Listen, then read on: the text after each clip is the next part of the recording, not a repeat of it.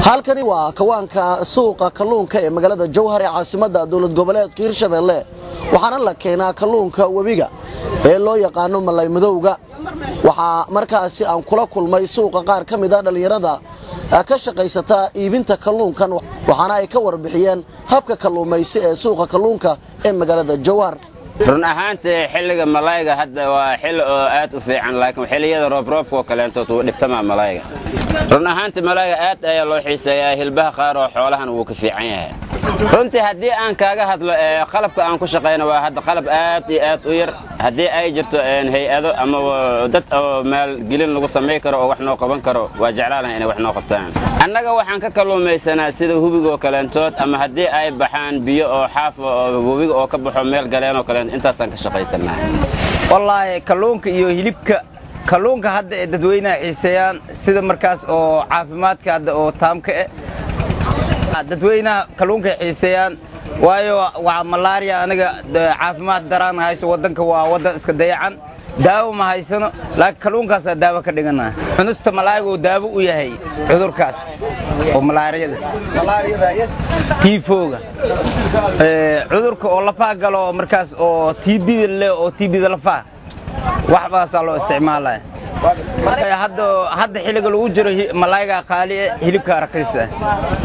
waa sidaas waa yaryahay socodkiisaa yar malaayiga. Xoolahana waa xoole hadda iska buuxo. Kalluunka waxa uu ka mid yahay hilibka la cuno. Waxaana dhakhaatiirtu ay sheegaan in boqolkiiba boqol uu ka caafimaad badan yahay hilibka xoolaha sida ariga loda iyo geela. Waxaana kalluunka cunistiisa ay faa'iide u tahay dad badan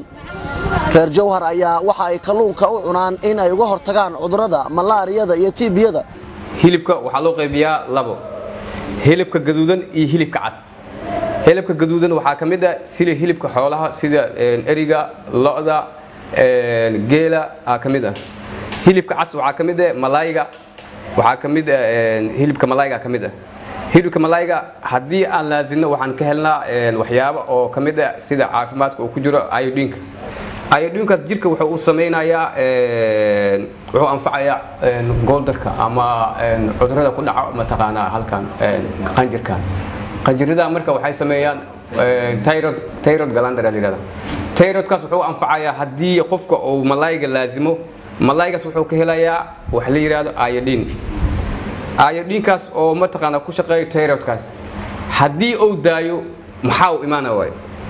hadduu malaayiga inta laazimo haddana uu daayo